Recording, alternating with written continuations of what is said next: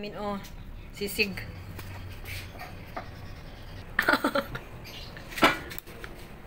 Ang luto yan Kuya Mike. Sisig. Anong pinachamba? Masarap to.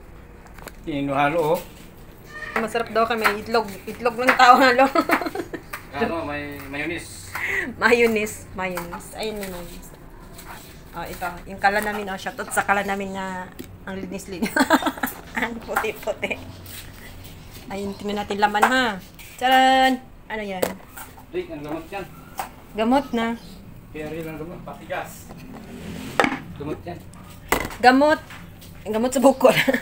Gamot sa ano mga kuan ba kung si tawag na eh. Mga kabag-kabag, sa mga sakit-sakit sa mga panuhot ba? Ano sa may tagal panuhot. Mga hangin-hangin. Oo, sa mga ganyan. Mga hangin-hangin. Ito, pakain mo sana si Dana.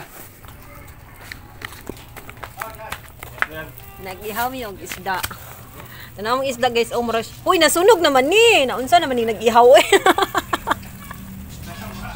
Nasunog na nang itom na oh, wa na.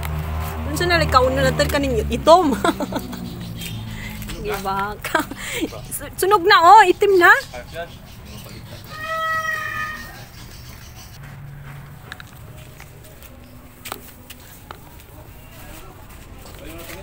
Ay na.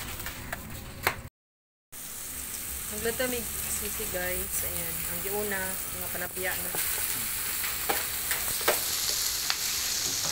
Anak niya magluto sisig.